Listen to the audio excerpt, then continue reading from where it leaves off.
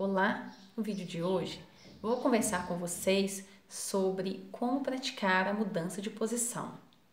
Vou começar falando sobre a mudança de posição da primeira para a quarta posição. Então, vamos começar aqui. Eu vou tocar a nota Si na corda Lá, ó. E eu vou mudar para o Mi na corda Lá.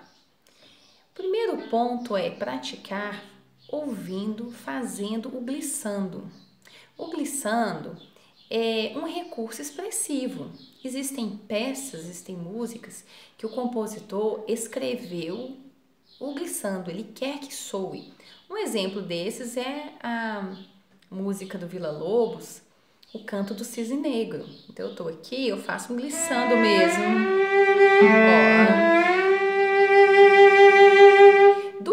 Para o Sol está escrito glissando.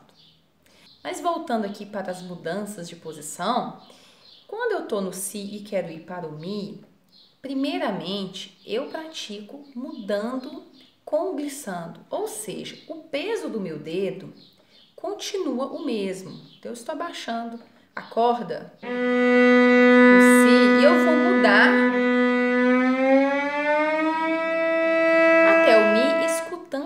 glissando, ou seja, o meu dedo tem peso, meu braço aqui tá tudo, ó. Se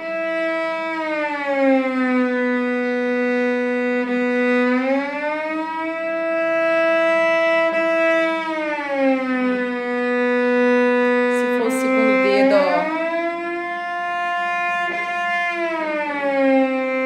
ó. Observem que eu estou mudando, é, conglissando, fazendo um movimento lento, né? E sem nenhum tipo de mudança de velocidade no meu braço.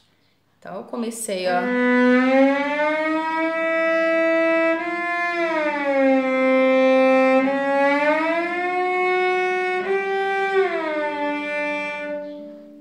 É muito importante fazer o glissando porque eu estou dando a chance ao meu ouvido de escutar todo o caminho que o meu dedo tem que percorrer para chegar na nota. Como nós já somos musicalizados, então nós temos o si e o mi já guardados na nossa memória. Então eu tenho que conhecer apenas esse trajeto dessa mudança. É, nós temos ajuda de outros sentidos, como da visão, o sinestésico, que é o do corpo. Todos eles vão se ah, todos esses sentidos eles vão se comunicar e vão conseguir é, nos ajudar a chegar nessa nota. Mas o auditivo, ou seja, a escuta, é extremamente importante para que a gente consiga tocar afinado no violoncelo. Porque o violoncelo, como vocês já percebem, não tem marquinha. Então, visualmente, eu tenho mais ou menos a uma, uma chance de chegar afinado. Então, eu tenho essa referência aqui logo atrás do braço do violoncelo. eu sinto a distância daqui, né, da minha primeira posição em relação à pestana. Todo, todas essas informações ah, vão nos ajudar a tocar e, e poder mudar de posição e voltar com segurança. Mas é através da audição que eu vou realmente conseguir uma afinação é, impecável, porque nós já temos essa nota na cabeça, né? Agora, o segundo momento é eu vou praticar já aliviando o peso do meu dedo para que eu possa esconder ou diminuir o glissando, porque já é um segundo momento da prática. Quando eu já estou firme e segura ali com a mudança, eu já conheço, então, eu já posso aliviar esse peso. Então, eu vou tocar. O peso que eu tenho no meu dedo é como se tivesse um, um ganchinho que vai me tirar o peso aqui, ó. Eu vou viajar, né, por esse braço aqui, ó, deslizar com pouco peso. Quando eu for chegando próximo, eu coloco o peso novamente, então. Só que mais rápido.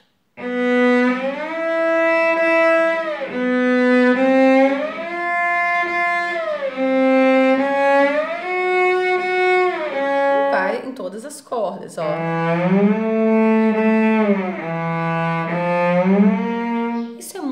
bom de se fazer para novamente termos ah, conhecimento das notas aqui, dessa parte do violoncelo, do braço dele, até aqui a minha quarta posição.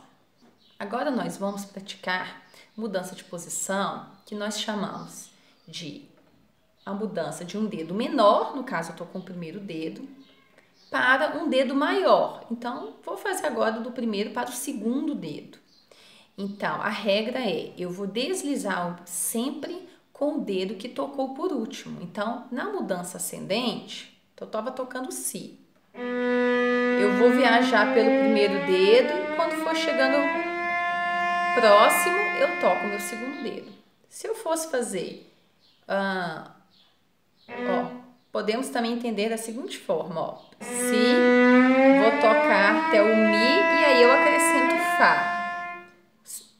Depois vou fazer.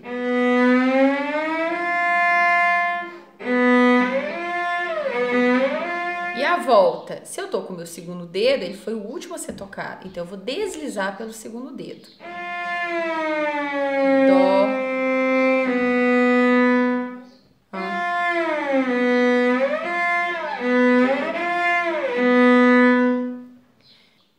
Nós vamos fazer a mudança de um dedo maior para um dedo menor. Então, se eu tiver o meu segundo dedo, começando, então, no Dó e vou para o Mi. Então, Dó, durante a viagem, ou seja, durante eu deslizar e glissar pela minha corda aqui para chegar no Mi, eu já vou fazer na troca. Então, ó. E a volta a mesma coisa. Eu começo com o dedo que tocou por último e troco no meio do caminho, eu já coloco o dedo da chegada. Então, novamente, eu vou sair com o segundo dedo. meio do caminho eu troquei pelo primeiro dedo. Vou voltar pelo dedo que tocou por último, primeiro dedo, e troco pelo que vai chegar.